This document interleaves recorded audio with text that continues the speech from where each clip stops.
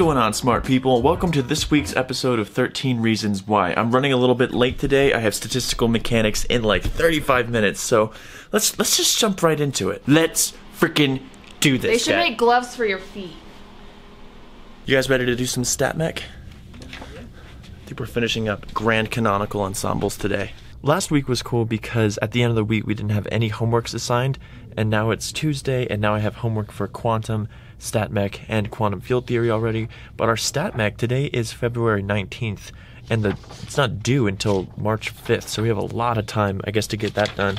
I think it's because these homeworks, our professor knows how long these homeworks are taking us, so he gave us more time this time. But now I'm going to go pick up Rigo's TA shift for uh, for lab. I have to go teach lab now. Three hours later. Can you move it along? I'm all out of time cards. Today is proving to be much more hectic than I thought it would be. Clearly, I'm home from school now. I finished TAing the lab. It took the entire time, which is fine, but now I'm home and I'm trying to get this next tensor calculus video recorded.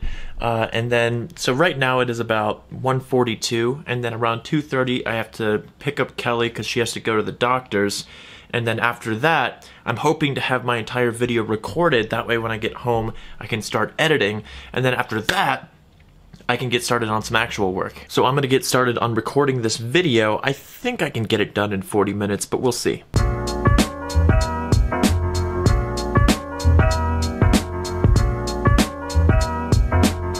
I am finally done recording the tensor calculus video. I said I wanted to try to get it done in 40 minutes. I don't know when I said that, but it definitely was more than 40 minutes ago. Right now it is about 6 o'clock. So I'm gonna get to editing this video. Yeah, these things take a lot longer to do than you might think.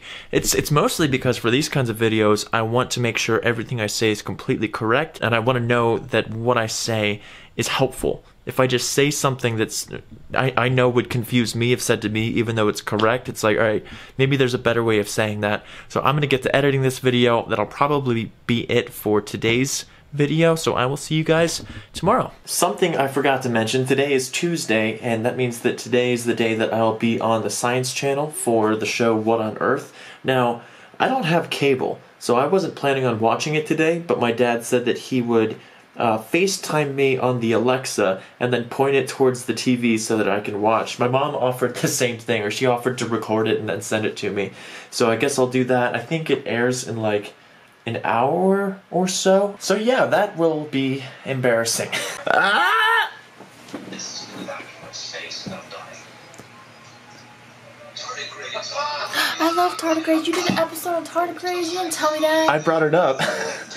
so I'm I'm the alien. I'm the alien conspiracy. oh my god. It's possible for them to come here and exterminate it.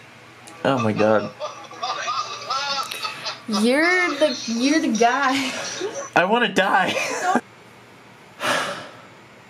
I'm, I'm gonna be a meme. Okay, I'm going to bed. It is Wednesday, my dudes.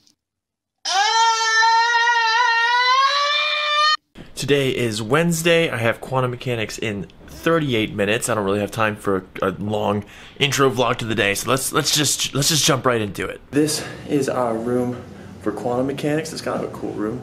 Big old blackboard. Today we don't have it for two and a half hours, which is nice, but we do have it in like five minutes. So see you after. Psst.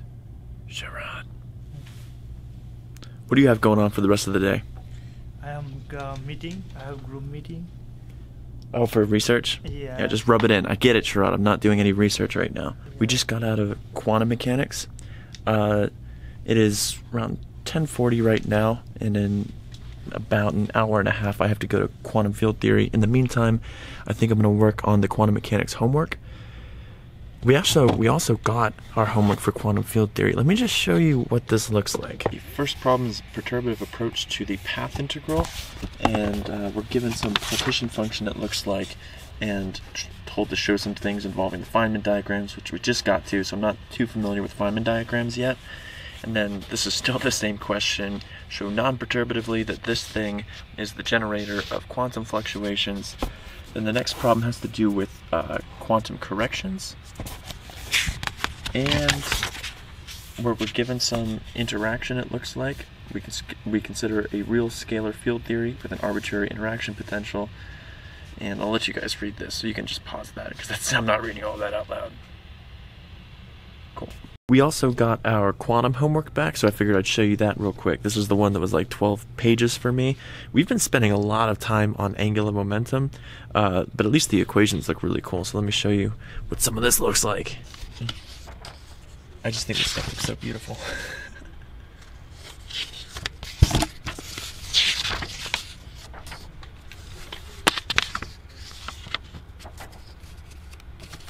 plus more pages. You get the idea. I actually got a 9.5 out of 10 on this homework instead of, can you focus? Instead of a 10 out of 10 because I forgot to account for the fact that the earth is flat.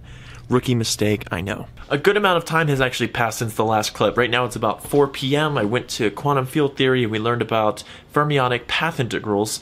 Uh, as I mentioned before, part of our grade of the course is giving individual lectures, so we have to read ahead of time and then give the lecture to the rest of the students, and uh, then our professor picks up where we leave off, and this is part of our grade. One student did that today for the fermionic path integral, so they went over uh, Grassmann algebra and Grassmann numbers. Pretty new concept to me, but she did a really good job. And some of these students are actually taking the course remotely at Fermilab, so they Skype in. So this student just prepared a bunch of slides and Skyped in and explained things. But it ended up working out really well. Like I said, they did a good job, and I also chose what topic I will be giving my lecture on. So I will have an hour and 15 minutes to talk about non-abelian gauge theories in probably around a month or so. So I'll probably spend a, a good portion of it talking about the group theory, I'm assuming, and then the rest will be QCD. So I'm looking forward to that. As for the rest of today, I have a lot of work done to get done before this weekend, really before this Friday, because Friday, Kelly and I and a bunch of friends are going out to a cabin for the weekend, and I won't really be able to do any work then.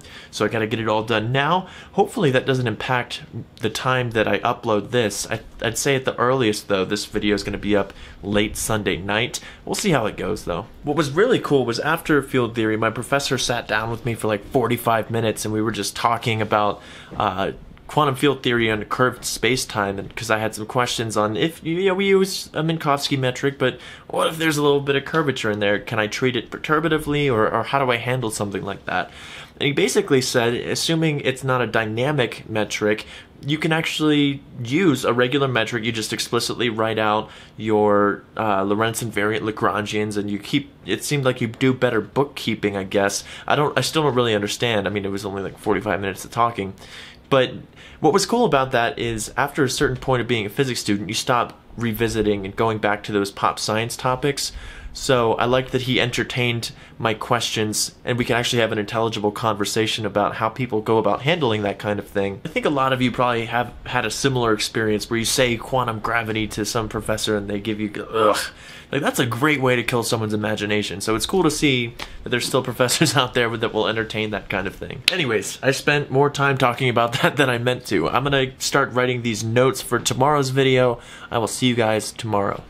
Boop tomorrow. A few things on the agenda for today. I have StatMech in about an hour, and then afterwards I have to go to tutoring, and then that'll finish up everything on campus.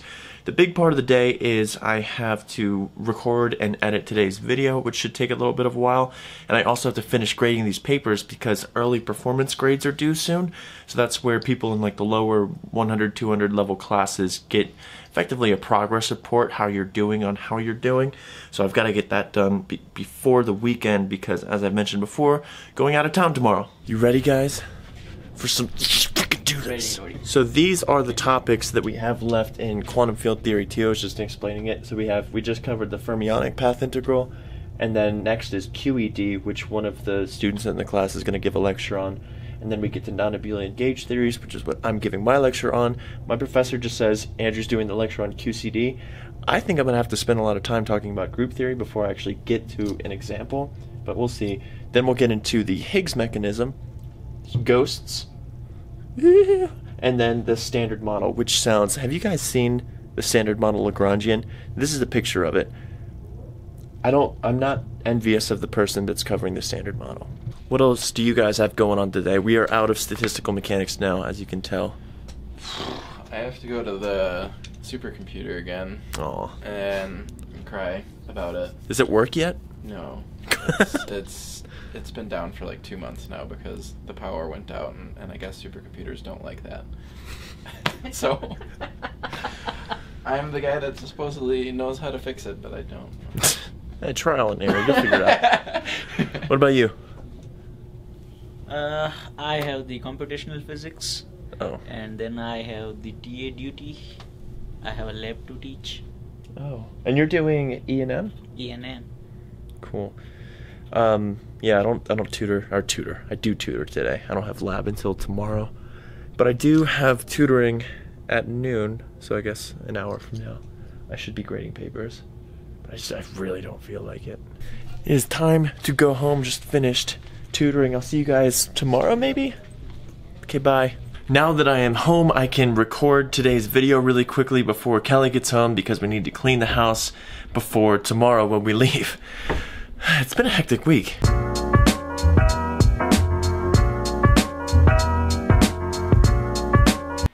I am all done recording the video and it is finally up and uploaded. Right now it is 10:30 p.m. It's been uploaded for a while, but I was working on some other stuff. So before I go to bed, one question before I guess tomorrow's intro clip. If you're at the North Pole, which direction is east? Okay, see you tomorrow.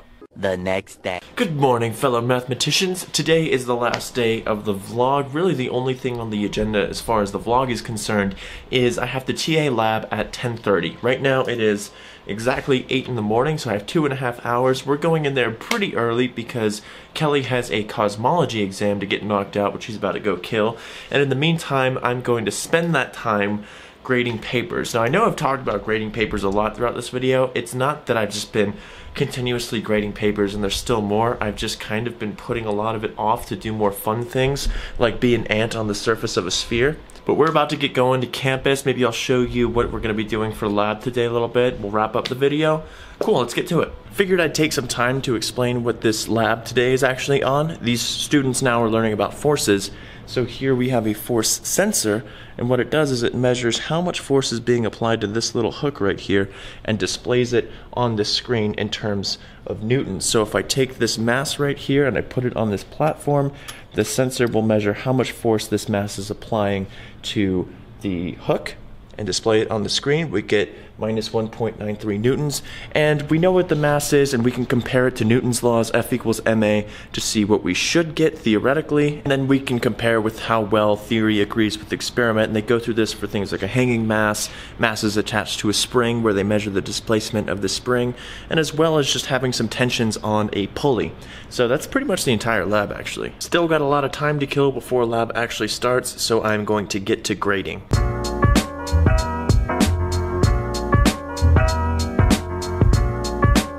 Just finished the lab and I'm getting out six minutes early, which is awesome. Throughout the lab, I got almost all of my grading done, but then I forgot that we also had, or they also had homework due today, so that's more stuff to grade. The process continues. This seems like as good a spot as any to stop the video. I love how much the grad students the grad students here have just welcomed me bringing the camera and then putting them on the internet forever. So that's pretty cool. Hope you guys enjoyed the video. Let me know in the comment section if you did, and I'll see you guys there.